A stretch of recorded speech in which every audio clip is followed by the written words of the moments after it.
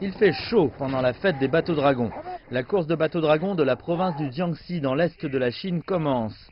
100 personnes prennent part à la course et des dizaines de milliers sont venus pour les encourager.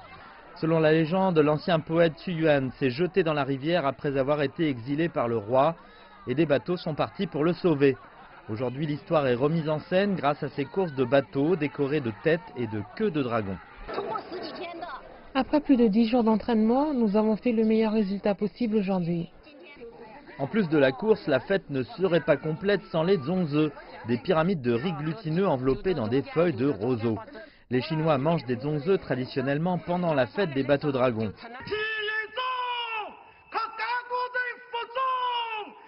Dans la province du Fujian, on confectionne un zongze qui pèse 1000 kg. Il est fait de 400 kg de riz glutineux, 100 kg de viande, de noix et de légumes. Il a fallu trois jours pour le réaliser. Les enfants célèbrent aussi la fête à leur façon. Les élèves font des sachets parfumés avec des pièces fourrées aux herbes.